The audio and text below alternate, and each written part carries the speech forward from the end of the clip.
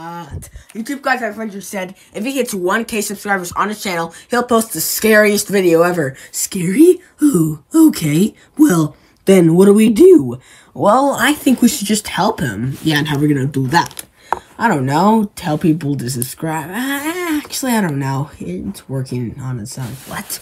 Yeah, but anyways, you guys, yeah, um, basically, yeah, yeah, if he hits 1k subscribers, he'll make a series, I think that's what he said, which won't happen. Shut the up, Luigi. Get the out of here. I'm sorry. Anyways, it's okay.